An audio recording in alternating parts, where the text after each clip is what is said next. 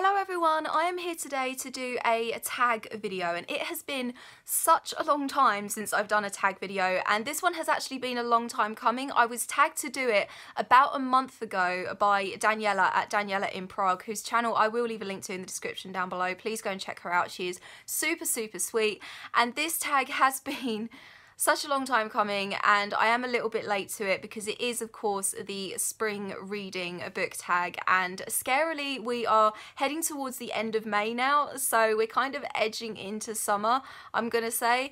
Um, so some of the answers to these questions may be a little bit more summer based rather than spring um, but anyway without further ado I'm just gonna get right on into it. So the first question is what books are you looking forward to reading over the coming months? So the next book on my TBR that I am super, super stoked for is Meddling Kids by Edgar Cantero. And I feel like I've already talked about this book quite a lot on my channel and I've not even read it yet. So this is a spooky mystery kind of story that has influences from both It and Scooby-Doo. And that's pretty much all I need to know to be super, super interested in this book. So I am going to be picking it up really, really soon and hopefully loving it as much as I think I will. I'm also really, really excited for a new Stephen King book, which is coming out very, very soon. I think it comes out next week. It's called The Outsider, and that is one of his kind of crime thriller mystery stories in a similar vein to his Bill Hodges trilogy. Really, really excited about that. I've pre-ordered it, so I think that's going to come to my house at some point next week. I'm also really, really looking forward to a new Ruth Ware book. Ruth Ware is one of my favourite psychological thriller writers, and every summer she brings out a super exciting, easy to completely devour thriller, and um, her new book, The Death of Mrs. Westaway, comes out at the end of June, I think, so really, really excited for that one. Um, I'm also really, really looking for something a little bit lighter and fluffier and cutesy to read. Um, so if you have any recommendations for me for that kind of book, please let me know. Um, two chick lit authors that I really, really love are Jenny Colgan and Giovanna Fletcher, so anything in kind of a similar vein to them, I would really, really appreciate you guys letting me know about. So yeah, that is what I am most looking forward to reading within the coming months. The next question is what book makes you think of spring? And of course I'm going to say A Court of Thorns and Roses by Sarah J Maas. So those of you who have read this book will know why it makes me think of spring. Um, the Spring Court is the court in the fairy realm that Feyre is first taken to from the human world. The Spring Court is Tamlin's court and pretty much the entirety of this first book takes place within the Spring Court. So that's pretty much why it makes me think of spring. I can't really think of another book that makes me think of spring in quite the same way that this one does. So yeah.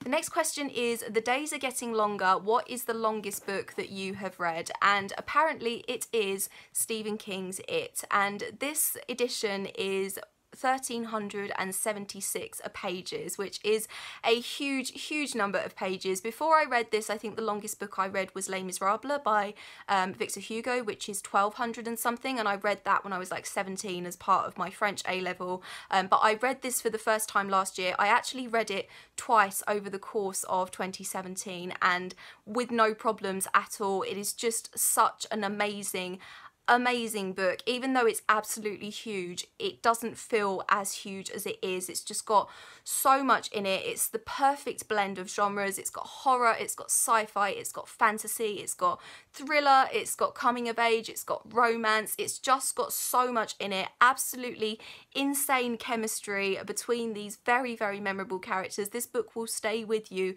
for such a long time after you finished it and I actually can't wait to reread it again which I will definitely be doing before the next part of the film comes out at some point in 2019. So yeah, I will never stop recommending this book and please, please pick it up if you haven't already. Even if you are intimidated by the size, I'm pretty sure you'll be able to get through it because it's just so, so addictive. So yeah, that is the longest book that I have ever read.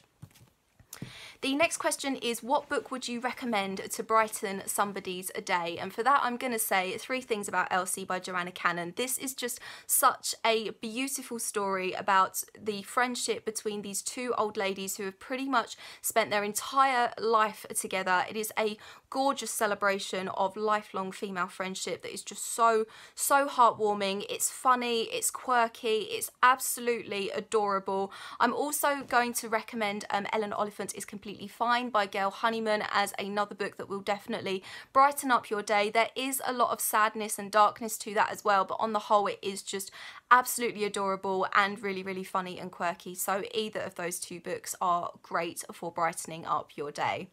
The next question is Spring Brings New Life. What book doesn't exist but you wish really did? Okay, so I'm going to say that I would absolutely love a Neville Longbottom and Luna Lovegood book. I just want to forget the fact that Luna went and married Rolf Scamander. I want Neville and Luna to have got together and had this crazy, magical, weird, quirky life together. And I know there's going to be loads of people recommending me Neville and Luna fan fictions and all of that. I want an actual book. I don't want fan fiction. I want that to have actually been a thing. So I just think that would have been absolutely wonderful. So I would love a Neville and Luna book. I would also really love a YA mental health book where it's not obvious why the protagonist has their mental illness um, because I always feel that with a lot of YA books that deal with mental health, there's always something about the character's life, like they've either suffered like a great loss of somebody close to them, or they're struggling financially, or there's a very tense relationship with someone they're close to, and that seems to be the trigger for their mental illness. And I would love to read a book where there's no obvious trigger because believe it or not mental illness can touch literally anyone. Something doesn't have to go wrong in your life for a mental illness to be triggered. Your life could be seemingly perfect and you just fall ill and i would love to read a book about somebody like that. So yeah the next question is Spring is a time for growth. How has your reading changed over the last few years? So, I definitely read more widely in terms of genre now than I used to. Because um, I pretty much, before I discovered BookTube, I only really read like Harry Potter and Stephen King. I didn't really read anything else. And then when I first started my channel, I was much more into fantasy than I am now, actually. And now I tend to be more drawn towards um, Um, thrillers and obviously spooky books. I've always read spooky books because I've always been a massive Stephen King fan, but I am definitely more drawn towards psychological thrillers and also some kind of quirky adult contemporary as well. Um, so yeah, my reading tastes have definitely changed over time, but I, I, on the whole, I just read more widely now, and I think that's probably because of BookTube. Um, but even over the last couple of years, my tastes have changed a little bit. I'm much less in love with fantasy. I do still enjoy the odd fantasy book or series, but I'm much more into my darker, realistic fiction than I used to be. So yeah, the next question is how is your reading going so far this year? It's going really, really well actually. So far I've read 44 books this year out of a goal of 100. So I'm quite a way ahead of my goal. I don't know whether I will increase it because I kind of feel that's going to put me under a lot of pressure to then meet that goal by the end of the year. But I'm really, really happy with how it's going. I've enjoyed most of the books I've read so far this year as well. So fingers crossed that is a trend that is going to keep going for the rest of this year. But um, yeah, I'm really, really happy with how my reading has gone so far in 2018. And the last question is any plans that you're excited for over the next few months?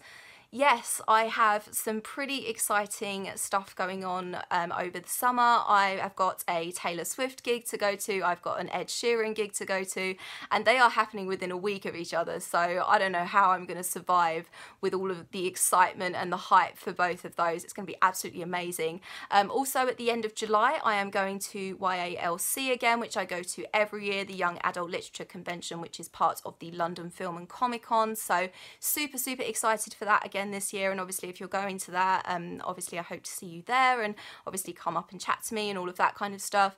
Um, and also, I'm hoping that I will be able to make a trip down to Aberystwyth in Wales at some point this summer as well. That's where I went to uni and it's one of my favourite places on this earth. So hopefully, I will be able to get down there for a few days at some point this summer too. So yeah, and that is it for the spring reading book tag. Um, do you guys want to do it? I'm not going to tag anyone in particular. So obviously if you want to do it, please feel free to.